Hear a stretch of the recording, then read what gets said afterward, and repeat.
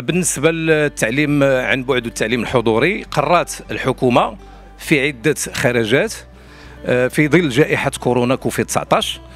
عدة إجراءات وتدابير غير مسؤولة التي أثرت بشكل واضح على القطاع قطاع وزارة التربية الوطنية مما أدى إلى عدة مشاكل. من ضمن المشاكل التي نعاني منها هو القرار الأخير آه الذي أدى إلى جملة من الارتباكات. جعلت العديد من الأسر آه تتدمر وتعاني من كثرة هذه المشاكل التي لم تجد لها حلا بالإضافة إلى المؤسسات التعليمية الخصوصية والعمومية آه، في ظل إلزام الأسر التعليمية بتعبئة استمارة إما عن بعد أو عن تعليم حضوري. مما أدى إلى عدة مشاكل لمسناها بالملموس على أرض الواقع والذي أثر بشكل واضح حسب البؤر المتواجدة في بعض الجهات من ضمن هذه الجهات جهة الدار البيضاء السطات. وتبين بالواضح على أن بعض المناطق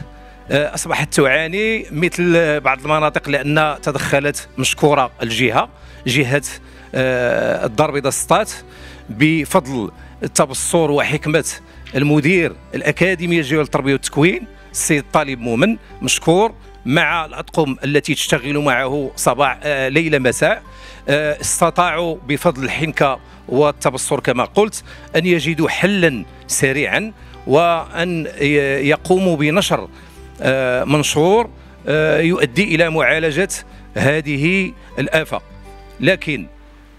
نحن كمنظمة ديمقراطية للتعليم جهة الدار البيضاء السطات لنا رأي ولنا تصور الذي كان لو أن الوزارة أشركت مجموعة من الشركاء الاجتماعيين والمجتمع المدني والأطر التربوية والأطر التعليمية